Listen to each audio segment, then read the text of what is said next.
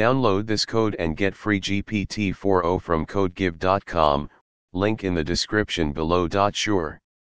Drawing a triangle in Python using the Turtle module is a fun and interactive way to learn programming. The Turtle module allows you to create graphics and shapes by controlling a virtual turtle on the screen.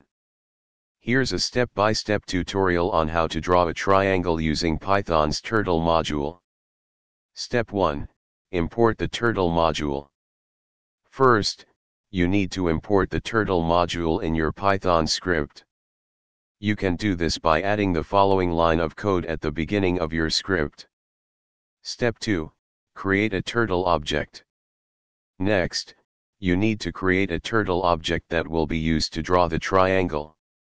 You can create a turtle object by calling the turtle function. You can also set the speed of the turtle by calling the speed function on the turtle object. Step 3, draw the triangle.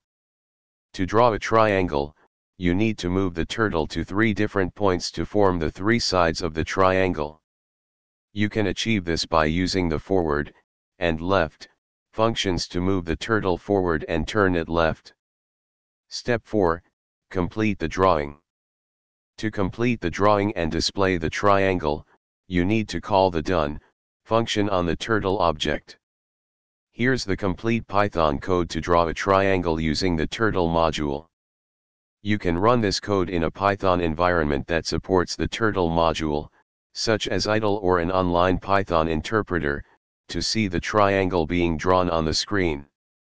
Feel free to customize the code to draw triangles of different sizes or styles.